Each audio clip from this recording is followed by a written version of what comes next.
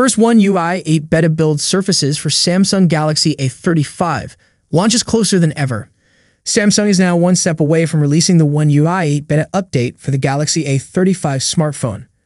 For months, the company has been running internal tests on this device, and fresh progress now confirms that development has advanced further.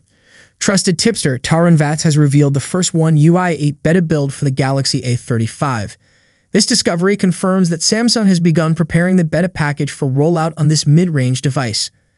The spotted firmware carries build number A356EXXU5ZYA4, clearly showing that Samsung is actively working on One UI 8 for the Galaxy A35.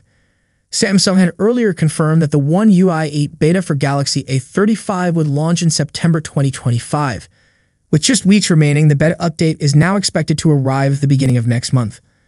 Unlike last year, Samsung is opening the beta program to more Galaxy S series models.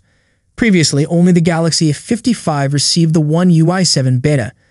But this year, the company is bringing One UI 8 beta to a wider range of devices beyond just the S55.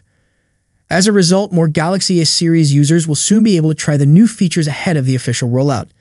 So far, One UI 8 beta has been confirmed for the Galaxy S55, Galaxy S54, Galaxy A36, and the Galaxy A35.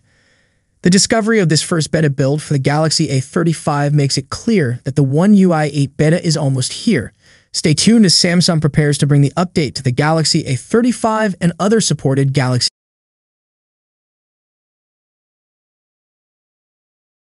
Galaxy S23 Ultra's first One UI 8 beta build leaks out and the release is closer than ever.